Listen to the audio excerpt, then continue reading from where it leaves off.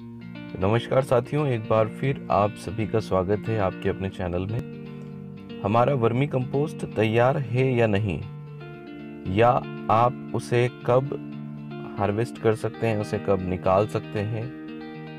तो ये बात की जानकारी देने के लिए आज की वीडियो बनाई गई है। बहुत से लोगों को कन्फ्यूज़न होता है कि कब पता करें कि हमारा जो खाद है वो बन चुका है, यानी वर्मी कंपोस्ट तैयार हो गई है या नहीं।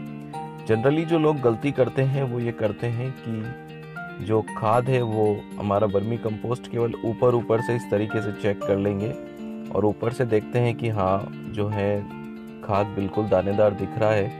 यानी कि ये जो चाय की पत्ती होती है, उस तरीके से दिखना शुरू कर देता है तो वो समझते हैं कि वो खाद तैयार हो गई है। लेकिन दोस्तों, जो खाद तैयार हुई है नहीं, उसको पता करने के लिए आपको अंदर तक इस तरीके से आपको देखना होगा। अगर हर जगह आपको सेम टाइप का खाद मिले, यानी कि सेम चाय की पत्ती के आकार का आपको खाद दिखाई दे तो आप समझिए कि तब हमारा जो खाद है वो तैयार है। अब हमें इसे निकाल लेना चाहिए। तो ये तरीका होता है कि आप हर जगह से, यानी कि जहाँ तक आपकी गहराई है, वहाँ तक इसको चेक करिए। और सिर्फ़ एक जगह से आपको चेक नहीं करना है, इसे कम से कम दो या तीन जगह से आप चेक करिए।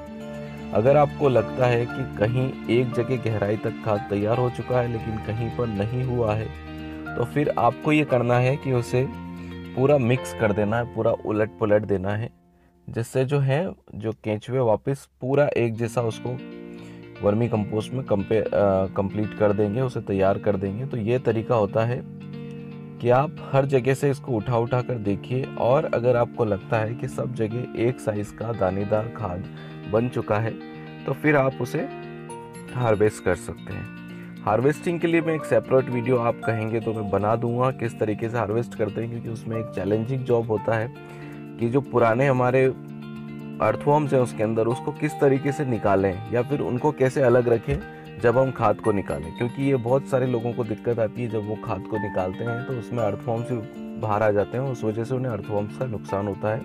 मोर्टाली रेट मोर्टालिटी रेट भी बहुत ज़्यादा होती है उसके अंदर, क्योंकि निकालते वक्त तो ध्यान नहीं रखते। तो मैं पूरा तरीका आपको बता दूँगा कैसे निकाला जा सकता है, किस तरीके से आप इसको कर सकते हैं, जो अर्थवॉर्म्स है, उनको सेपरेट करके खाद को कैसे निकाल सकते हैं, ये तरीका अगर आप कहेंगे कमेंट बॉक्स में तो मैं बता दूँगा।